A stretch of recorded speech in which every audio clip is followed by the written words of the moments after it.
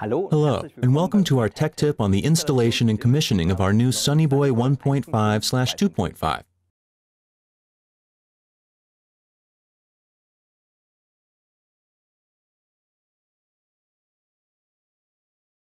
All right, let's start by taking a look at what's included in the scope of delivery. First of all, we have the quick installation guide, which makes it easy for you to get started.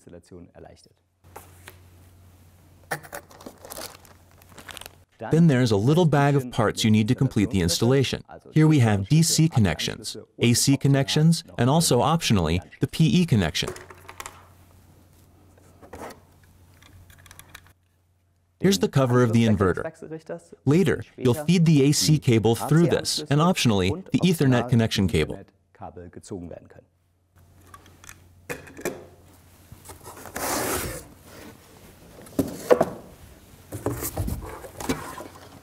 And of course, the inverter itself.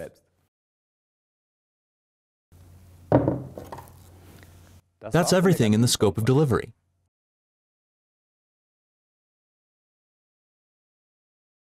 Now let's take a look at how easy it is to attach the device to the wall. We've already given you two screws for this. That's all the screws you need. Insert them side by side, 240 millimeters apart. You can check with a level to be sure they're straight horizontally. Once they're in place, it's very easy to mount the Sunny Boy 2.5 inverter.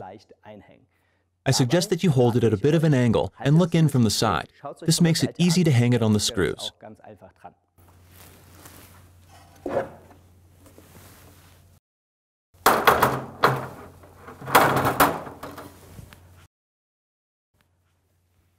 As you can see, no problem.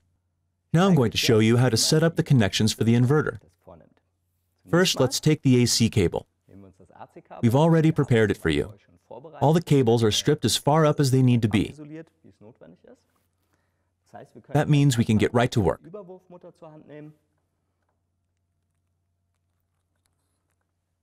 Hand tighten the swivel nut and seal in the cable here.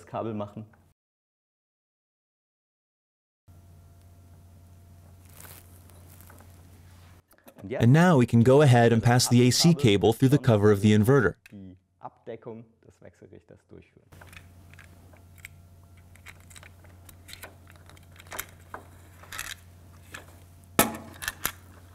When that's done, we take the green AC connector and insert the cable on the other side.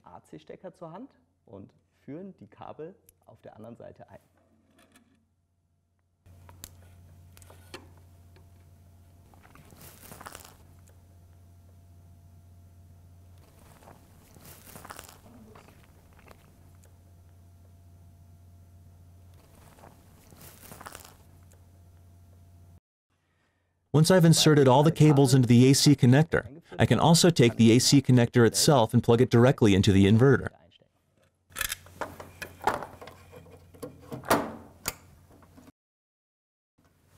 One click and we're done. As soon as I've done that, I can go ahead and put the cover of the inverter in place.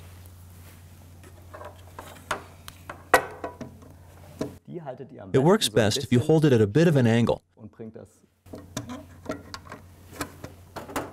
which I find makes it much easier to put it on the inverter.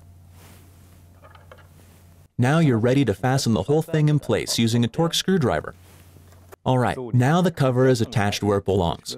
I would then go on to tighten all the screws. A little tip here, it's best to tighten the center screw first, then the one on the left, and then the one on the right. This pulls it into place nice and straight.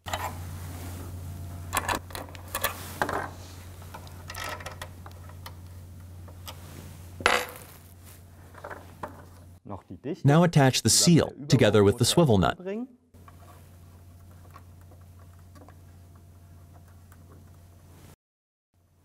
And we're done with this step as well. Now we're ready to connect our PV array to the inverter. The first step is to remove the protective cap from the DC connection on the inverter. Then we can take the pre-assembled cable, the DC cable, and click it right in.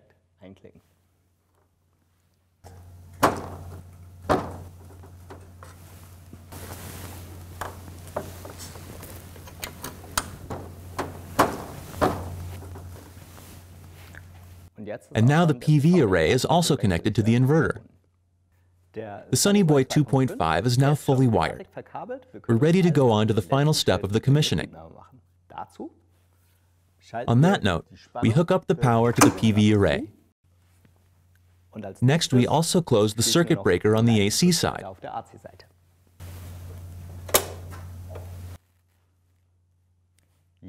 Now the LED is blinking green, which tells us that DC voltage is available and the inverter is ready for feed-in. This gives you the ability to connect directly to the inverter via a smartphone, tablet, or of course your home network. In this case, I'm just going to use a smartphone. Of course, you have to activate WLAN on your smartphone as well.